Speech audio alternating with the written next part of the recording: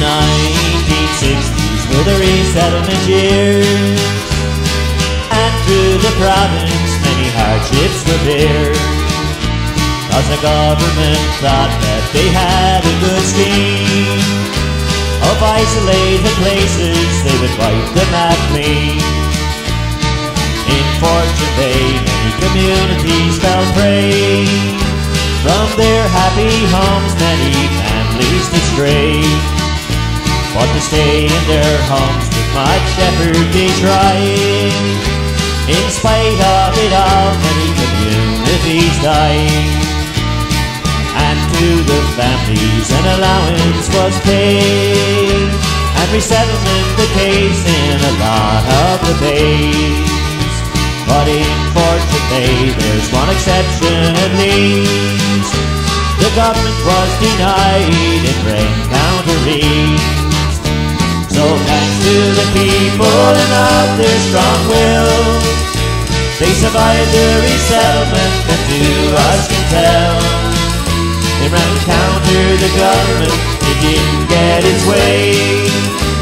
And there they are living to this very day.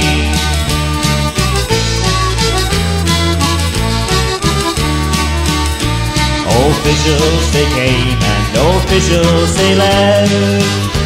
But the people of Rencontre, they stood the test. And what lay ahead of them they could not have known. But they were going to stay there right in their own homes. So to all of the people who strayed from their land, if with the government you had taken a stand, you don't have to wonder what might have been. Cause a Rencontre is the results can be seen. So thanks to the people and of their strong will, they survived the resettlement and to us can tell. In Rencontre the government, it didn't get its way. And there they are living to this very day. So thanks to the people and all their strong will, they survived the resettlement and to us can tell. In Rencontre the government, it didn't get its way.